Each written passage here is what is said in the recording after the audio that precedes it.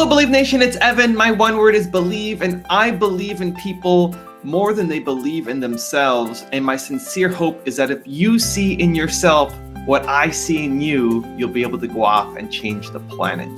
Now, I started the Believe Love series because being in a relationship can be hard and being an entrepreneur can be hard. And you combine both of those two things together, life gets a lot more difficult.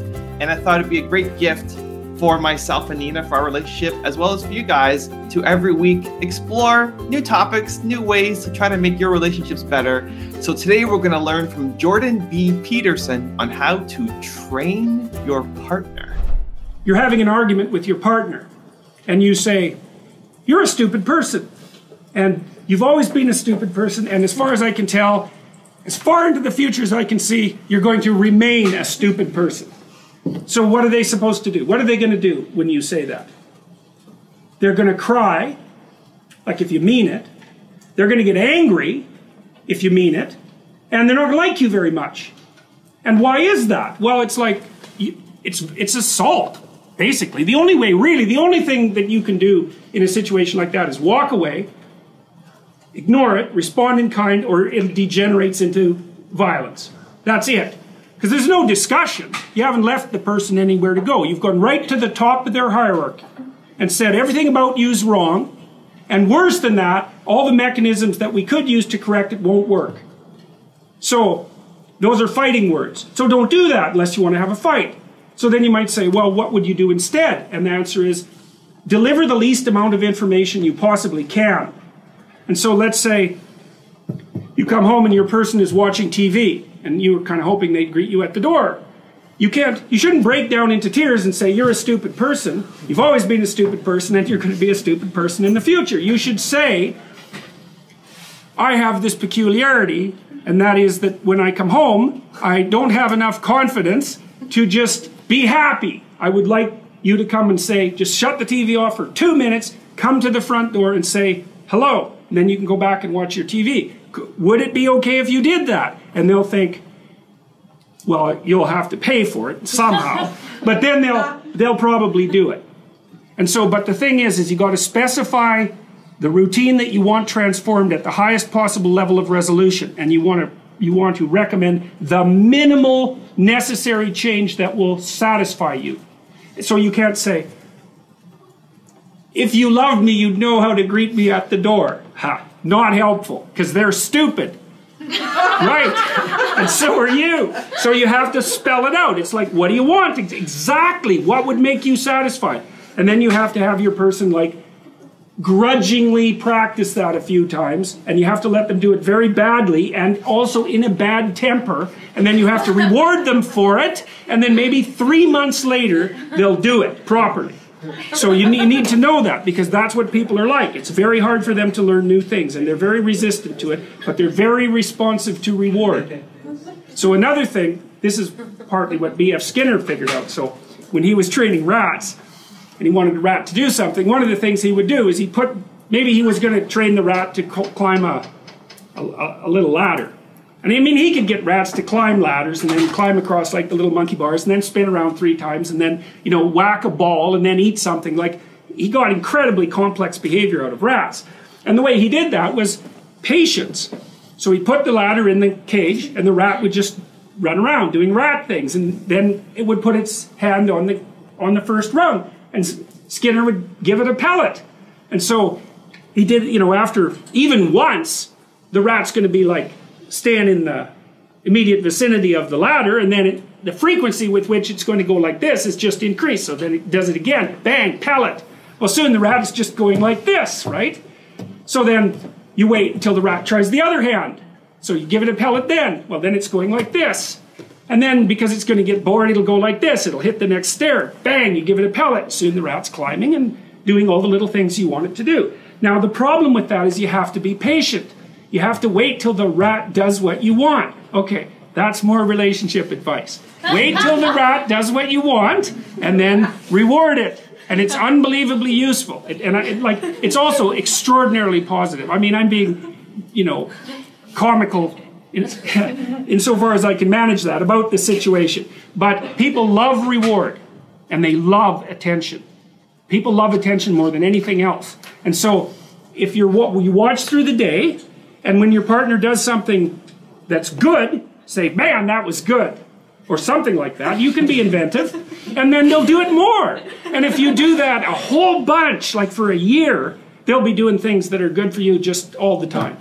But you have to be patient, which is very annoying, and you have to suppress your response to only respond to negative things. You know, because what we know about the expectancy models is that a deviation from expectation produces a burst of negative emotions. You know, so you come home and the whole house is clean, but there's like, I don't know, the dog has shed on the rug or something and the person overlooked that. It's like you're not going to see the clean house, you're going to see the rug with the dog fur on it. You're going to say, Why didn't you clean up the rug with the dog fur? And they're going to say, Good luck getting me to clean up the house again. And you know, because the thing is, is the exception stands out, and what's done doesn't. And the reason for that is you can just ignore what's done because it's done. It doesn't get in your way, so it gets invisible really quickly. So you really got to watch that tendency. One of the things Nietzsche said was that if you really want to punish someone, you don't punish them when they do something wrong. Because they expect that. That's not a punishment. They expect that. They might even be relieved by it. You want to punish them when they do something right. Because then you'll really hurt them. And so that's something to think about. And if you're in a relationship, man, if someone's done something right, do not punish them. You do that two or three times, and that's it, man. You're not going to get them to, to do that anymore. So, judiciousness. Watch what they're doing. If something happens that good, that's good, notice it. And you know, if they've done a bunch of things, don't concentrate on the things they did wrong. That's not smart. It, it's really hard on them too. Like it, this, in some sense, this sounds manipulative and selfish. You know, because I'm teaching you how to train your partner, but but you should also teach them how to train you. Because it would be really nice if you could come home and the person would say, "Well, what did you do today?" And you say, "You know, here's a bunch of things I did." And they say, "You," they say, "Well, this looks really good, and that was great, and why don't you do some more of that?" And you're like, "Oh boy, it was a great day." And so, you know, you can train them to train you properly, and that's a really helpful thing, especially if you do it over a few years. You know, you can that's how you have a good relationship because you're both clueless as hell to begin with. You don't know even what would make you happy, much less what would make the other person happy. And so you got to figure these things out bit by bit, and then you have to inform each other, and then you have to be patient enough to let your partner do these things really badly. I'll, I'll give you another example. Sometimes, sometimes I, I see couples sporadically in my in my clinical practice. I'm not a couples counselor. And so, but sometimes when I'm working with someone, there's an issue that needs to be discussed with, with both people, because otherwise it's just stupid. And one of the things I often recommend to people, especially once they have kids, is that they set aside, to use an anachronistic phrase, date, date nights. Well, everyone hates that idea. It's like they say, well, you know, they'll just say that's I'm not doing that. That would be one objection. We're just not doing that. You know, that's what we did before we got married. Um, they'll say, well, my partner would never go for that. Um, they've got a bunch of excuses why that isn't going to work.